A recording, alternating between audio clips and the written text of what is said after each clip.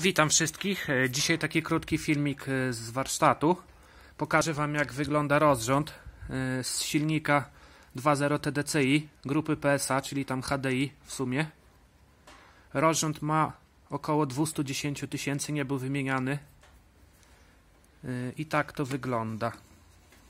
Pasek najpierw Wam pokażę. Pasek wygląda tak. Nie wiem czy będzie widać tutaj górna strona. O, teraz widać. Teraz pokażę Wam od spodu. O, jak widać już jest wymęczony dość mocno.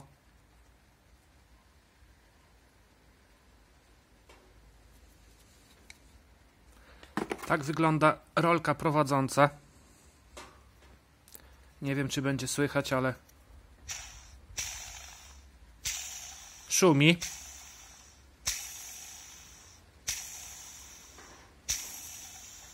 No.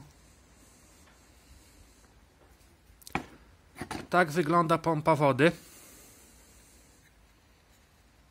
Oryginalna. Plastikowy wirnik był. Teraz tak, wirnik nie jest nigdzie pęknięty. Nie ma żadnego pęknięcia, bo te wirniki plastikowe podobno lubią pęknąć tutaj na oś, co tu w tym miejscu. I potrafi być tak, że ten wirnik stoi, a wałek tutaj z kołem zębatym się kręci. No i co? No pompa luzu nie ma. No nie pokażę wam. No szumi czy nie szumi. No bo wiadomo. O. Obraca się. Luzu tutaj nie ma. Ani wzdłużnego, ani poprzecznego. Ale już niestety ciekło. Tutaj będzie może widać. Ja jej nie myłem. O, tu widać takie różowy płyn. Też wyciekało tutaj o z tej dziurki z uszczelnienia. Jeszcze Wam pokażę napinacz. O. Ósmy rok. Tak wygląda. Też już trochę szumi. No ciężko mi będzie jedną ręką pokazać. Może położę. No nie da rady. No troszkę szumi. No luzu jeszcze nie ma. Tutaj między na łożysku za bardzo wyczuwalnego. Nie, no troszkę jest luzu.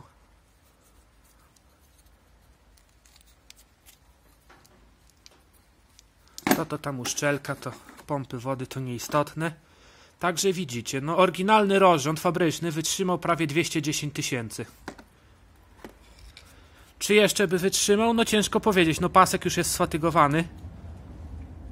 Może to by jeszcze pojeździło chwilę, a może jej by pękło. No nie jest postrzępiony.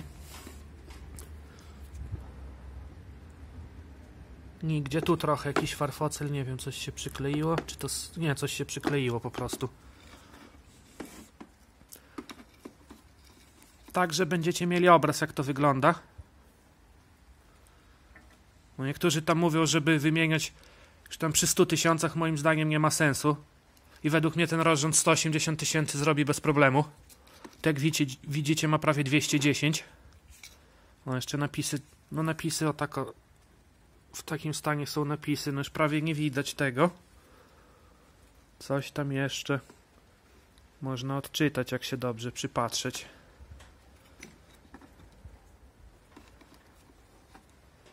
No i tyle by było.